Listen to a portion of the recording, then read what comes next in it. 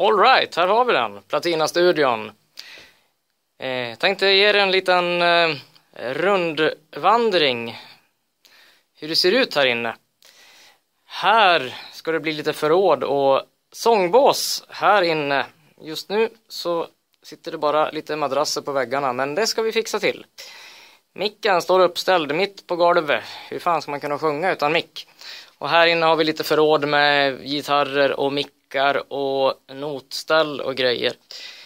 Här står min gura och mixen.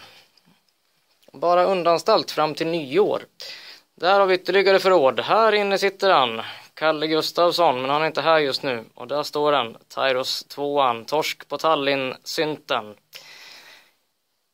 Hörni, det här var Platina-studion. Den är klar. Den ska väl bara fixas till lite ytterligare så ska vi kunna börja plocka hit folk och spela in.